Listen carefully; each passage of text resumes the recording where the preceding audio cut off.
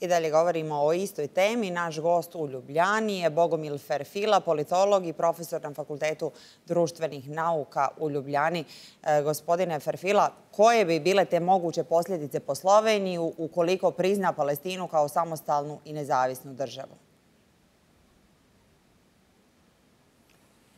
Pa ja mislim da ne bi bile neke, neke velike posljedice, ali samo priznanje je u tom trenutku bez veze. Mislim, ako bi, ako bi htjela Slovenija pomoći Palestini, to bi priznala za vreme prve ili druge intifade, to bi priznala za vreme prvog, drugog ili trećeg rata u Gazi.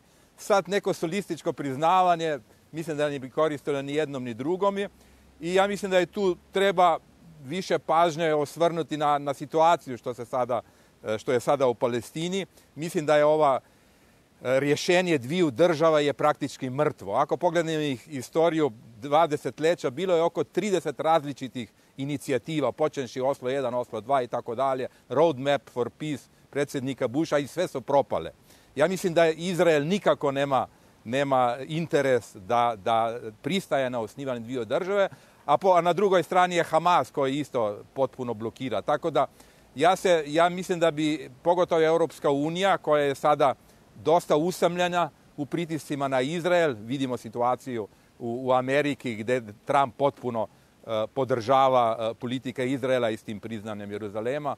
E, tako da je sad čak opasnost, ja bih rekao, da bi Izrael izveo aneksiju zapadnog brijega i tada bi trebala Palestina podrška, podršku jer, jer tad bi bila novi, novi, novi e, događaj na, na Bliskom istoka, a isto velika opasnost za svjetski mir. Tako da to priznanje Jesu to razlozi zbog kojih se tvrdi da sada nije taj pravi trenutak da Slovenija prizna Palestinu?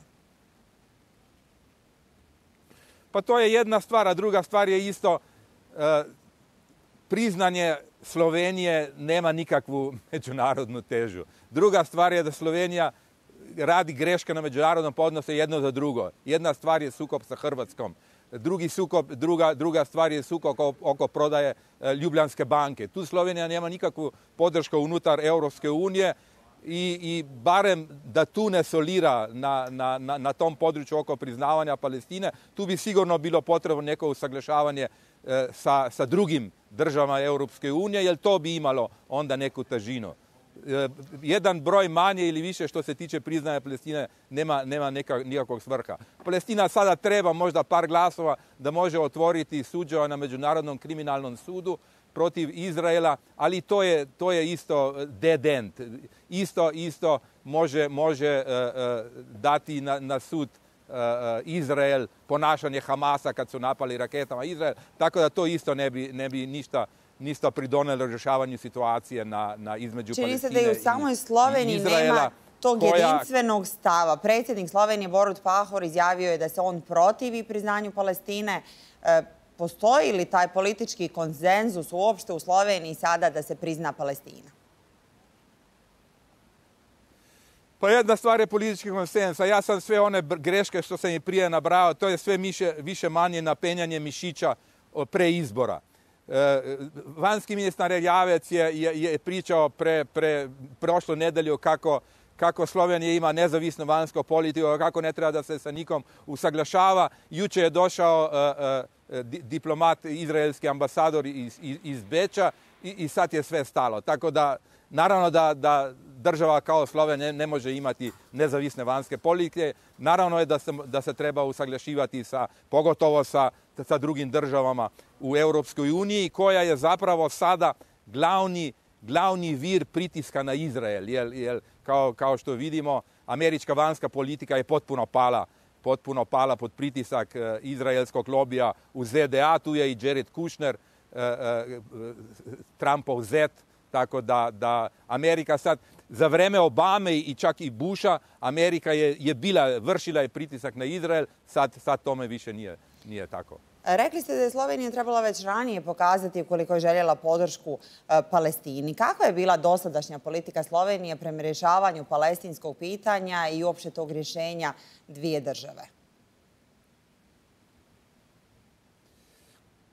Pa ja bih rekao da je tu bila neka, nekakva varijacija između, između usaglašavanja sa Europskom unijom, a neka varijacija na, na, u, u tom levom pravcu, jer pogotovo leve, leve stranke su, vaše, su manje više one koje dominiraju slovensku unutrašnju, a i vanjsku politiku. Tako da, ja bih rekao, bila je nekonsistentna i do sada, a one prave momente koje sam prije nabrojao, kad bi Slovenija trebala da prizna to su, to su već prošli. Tako da sad priznanje u tom trenutku nema, nema druge svrhe osim, osim e, pre, izbora e, e, da, da udovolje nekako levim, levim glasačama levim glasačima političkih stranaka u Sloveniji.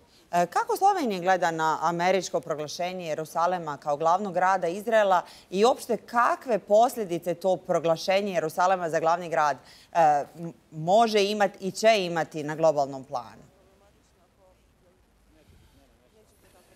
Pa to je jedan potpuni kiks američke vanjske politike, jer, jer e, za, vreme, za vreme Clintonovih rješenja, takozvanih Clintonovih parametra, on je, on je ponudio prijedlog da se Jeruzalem e, suoči sa pitanjem izbjeglica, da više Jeruzalema jednoj strani, manje izbjeglica.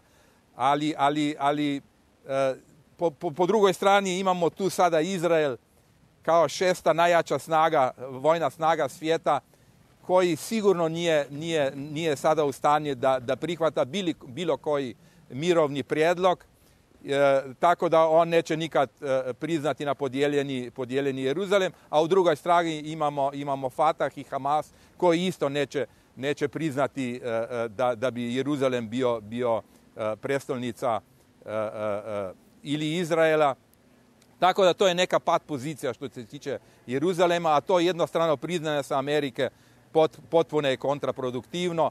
Sad je Amerika ispala, ona je imala uvijek barem nekakvu ulog pogajača između obe strane. Sad su sasvim kompromitirani tim predlogom i to je bila uh, potez koji, koji niko ne, ne, ne, ne, ne, ne uništilo je skroz američki, američki status na, na Bliskom istoku.